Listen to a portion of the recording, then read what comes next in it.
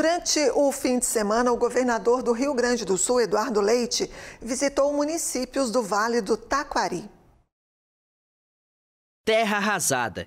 Este é o cenário encontrado em Encantado, Lajeado, Arroio do Meio e Cruzeiro do Sul, municípios do Vale do Taquari.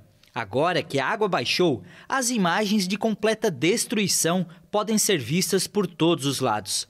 Além das dezenas de mortes na região, a infraestrutura das cidades, comércios e indústrias foram completamente afetadas.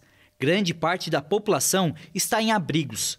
Em visita a essas localidades no final de semana, o governador do Rio Grande do Sul declarou que o processo de compra de novas moradias já está adiantado. São moradias em módulos de concreto, de método construtivo mais rápido, que pode ser construídos em até quatro meses, né? mas antes disso tem que ter o terreno preparado, com instalações hidráulicas elétricas, e depois, em cerca de quatro meses, a construção. Então a gente tem a expectativa de poder construir rapidamente essas moradias, até porque nesses municípios já estávamos buscando identificar, por conta do evento de setembro, uh, espaços e locais para essa, essas obras. Recursos do governo do Estado e contratações do governo do Estado com a parceria aí dos municípios para identificação dos locais. Eduardo Leite visitou as regiões afetadas do Vale do Taquari, acompanhado de secretários do governo e se reuniu com gestores das cidades.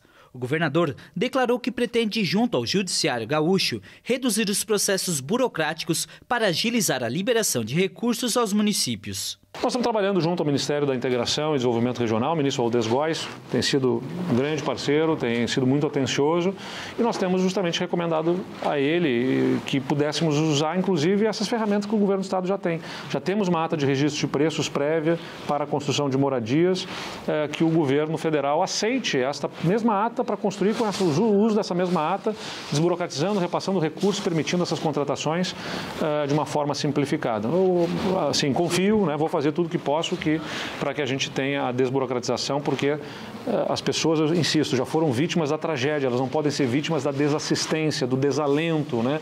Eh, de um tempo que demora para poder chegar a elas o atendimento. Cada dia que passa é uma dor a mais para cada uma dessas pessoas.